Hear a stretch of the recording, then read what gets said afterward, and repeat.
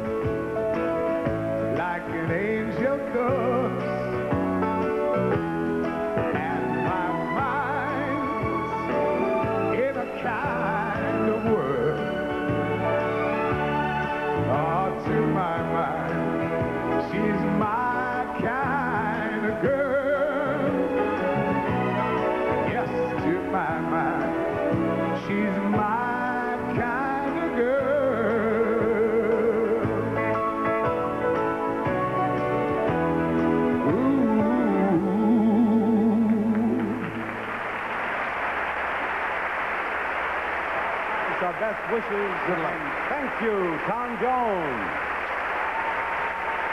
And you armchair judges, if you've been wavering throughout this pageant, picking one contestant as our winner and then switching to another, let me tell you that you're running out of time. Yes, sir. You better make up your mind right now.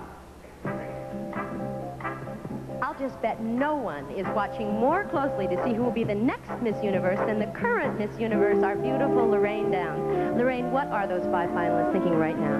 Well, they're all thrilled that they made it to the final five, but now comes the confidence. After all, these girls have won local pageants, national pageants. They made it to the semi-finalists, and now they're the finalists. So they're used to winning. But the eventual winner has no idea what it's going to be like. What, what's going to be like, her victory tonight or her reign next year? Both. Have you anything to sum up about your year for us? I guess the best way I would sum it up is that I have a 13-year-old sister whom I love very much.